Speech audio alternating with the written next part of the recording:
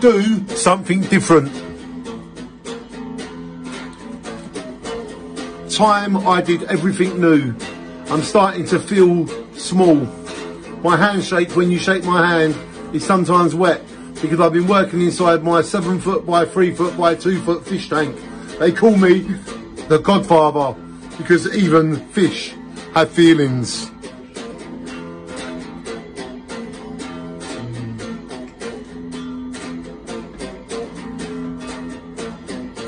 When I was a little boy, 1983 or 1984, at nine years old, I was having to earn my own money to taste honey.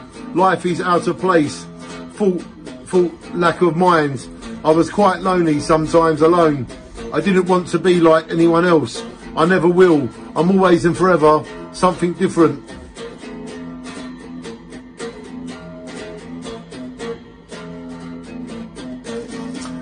The sharks will play with you when you grow out of your fishbowl.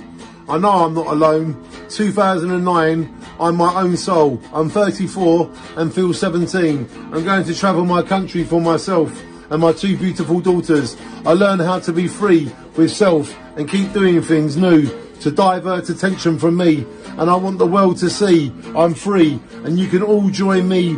All you need is your mind open and to do something different. Do something different. I wrote on the 31st of August, the year 2009. Today is the 6th of April, the year 2021. Do something different. Do something different. Do something different. Do something different.